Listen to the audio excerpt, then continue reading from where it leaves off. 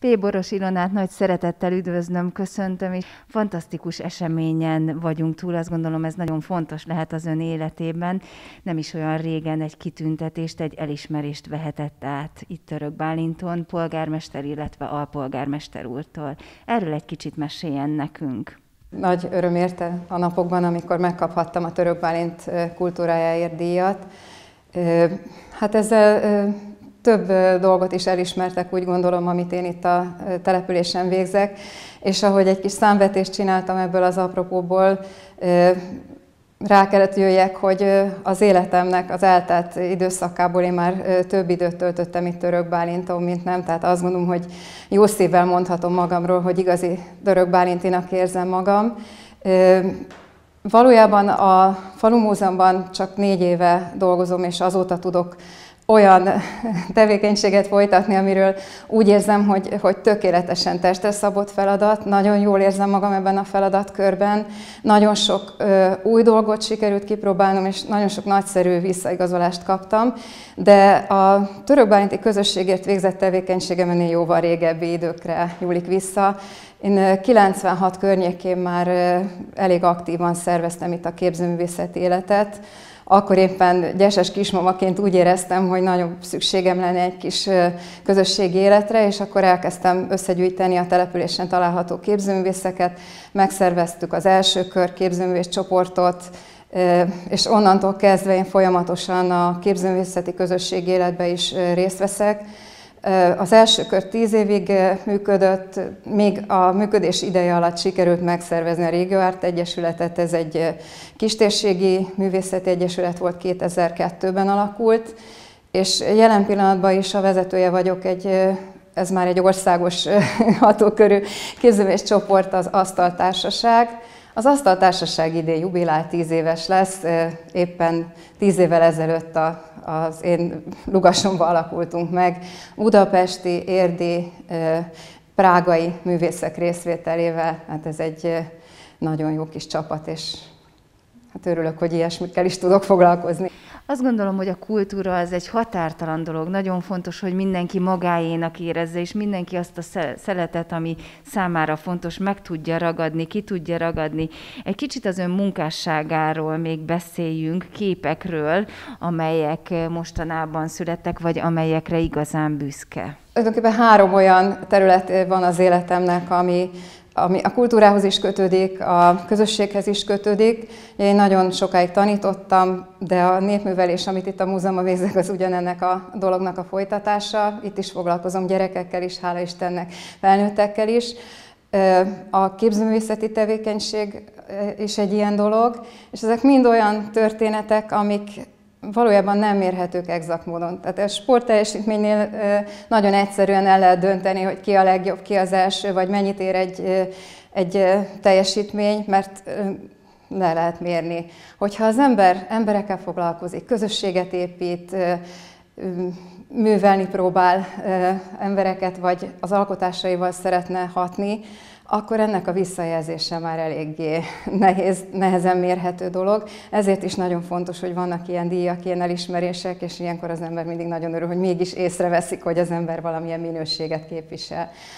A közösség építés az pedig azért nagyon fontos, mert ezen a településen hát 15 ezer ember él nagyjából, és elég nehéz manapság megszólítani embereket. Elég nehéz egy ilyen nagy településen kis közösségeket összegyűjteni, formálni, de nagyon fontos, nagyon nagy igény van rá, ezt most én itt a saját tevékenységi körömben tapasztalom. Van két körünk is, egy művészetbarátok köre és egy szépműves körnek nevezett kis csoport, akikkel együtt alkotunk időnként, és Ilyenkor tényleg azt érzem, hogy nagyon felszabadulnak az emberek. Hát nem csak arról szól, hogy most mi nem ezelünk, vagy kosarat vonunk, hanem, hanem egy kis lelkélet, mindenki kipanaszkodja magát, vagy elmondja, hogy mi bántja. Sokszor nagyon jó ötletek születnek, mert jön egy egész kézenfekvő közeli segítség, valaki munkát keres, kiderül, hogy pont az, a, akivel egymás mellett szövegetnek, tud neki ajánlani valamit, ilyen is volt már. De ez is nagyon, nagyon jó dolog, hogy ilyenek itt megszületnek. Most a pandémia alatt azért ez egy nehezebb helyzet, jóval nehezebb itt megvalósítani bármit is. Milyen keretek közé van most szorítva a faluház és ezek a tevékenységek? Sajnos ezeket most nem tudjuk gyakorolni. Hát erről rendelet van, hogy én itt nem fogadhatok látogatókat, ez, ez nagyon-nagyon elkeserítő. Ez a kiállítás, ami most itt épp a falakon fönt van, Vince Petronella kiállítása, úgy nyílt meg, hogy online megnyitót tartottunk, hát Novotny Tihamir nyitotta meg, és ő eljött, nagyon jó minőségű videót próbáltunk erről az eseményről készíteni, maga a művésznő volt itt, én, mint moderátora az eseménynek, és egy ilyen kis szűkkörű dolgot próbáltunk úgy megjeleníteni, hogy ezt egy online felületen meg tudjuk mutatni.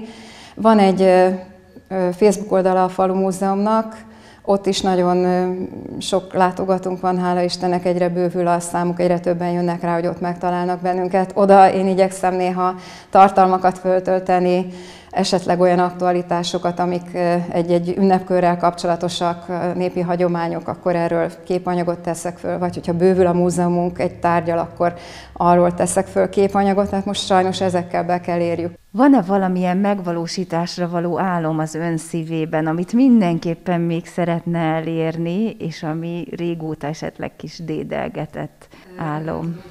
Múzeumban tulajdonképpen elég sok mindent sikerült már megvalósítani. Szeretném, ha ez egy élő múzeum lenne. Tehát semmiképp nem gondolom, hogy most itt a 21. században egy múzeumnak az a feladata, hogy jaj, ne nyújj hozzá, leporoljuk időnként, és akkor csak egy nagyon szűk réteg, akinek eszébe jut, látogassa, hanem minél nagyobb felületet adni annak, hogy fiatalok bejöjjenek, hogy rájöjjenek, hogy itt nem csak passzív módon lehet nézelődni, hanem mindenképpen valami interaktivitást is szeretnék elérni. Sok olyan eseményünk van a múzeumpedagógiai foglalkozásokon, például mindig tevékenykedtetjük is a gyerekeket. Tehát semmiképp nem szeretném, hogy, hogy ez egy ilyen tényleg múzeumális dolog legyen, hogy jaj, ne nyújj hozzá. Tárgyakból is szeretnék olyanokat begyűjteni, ami, tehát van egy bemutató példányunk, nyilván a legértékesebb darabunk azt esetleg védjük, de mondjuk urkatöltőből legyen olyan is, amit kézbe is lehet venni, ki lehet próbálni. Ha kívánság lehetne, akkor, akkor mindenképp helyet kérnék még a múzeumnak, mert nagyon ö, nagy gondjaink vannak a tárolással, sok tárgyat nem tudunk méltó módon bemutatni, Például bővítenék egy régészeti anyaggal kapcsolatos részt, aztán a közösségi felületeinket is megnövelném, a kiállítóteret is megnövelném. Ha egy jó tündér teljesíteni a kívánságaimat, akkor én mindenképp ilyesmiket kérnék hogy, hogy több terünk legyen. Hát én most nagyon reménykedem benne, hogy sikerül idén egy albumot kiadni az én képzőművészeti tevékenységemről. Hát elég sok jelentős kiállításon vettem részt, én azért évi 10-12 alkalommal részt veszek országos vagy nemzetközi bemutatkozásokon, kapok meghívásokat művésztelepekre. Idén most a Sárospatakira kaptam, sajnos nem biztos, hogy meg tudjuk valósítani. Tavaly hegykön voltam, tehát folyamatosan részt veszek a képzőművészeti életbe, és nagyon sok munkám is van. Majdnem 200 kiállításon vagyok túl, ami, ami csoportos kiállítás, az egyéniek is közelítik az 50-et. Hát erről én mindenképp nagyon szeretnék egy olyan albumot, ami, ami ezt összefoglalja, összefogja, és ami külön nekem egy kedves dolog az, hogy ennek az albumnak az első fejezete egy olyan családtörténet lenne, egy olyan önhatározó, amivel én adóznék az én családomnak, a felmenőimnek. Egyáltalán azt gondolom, hogy az, hogy én ki vagyok és hogyan alkotok, hogyan dolgozom, az, az nagyon meghatározott dolog, ha, ha akarom, ha nem, ha szeretném én ezt tudatosítani, ha nem, egész biztos, hogy, hogy egy nagyon erős beágyazottsága van a történelmi időkben, a generációkban mindannak, amit, amit én is tudok és képviselek és szeretek.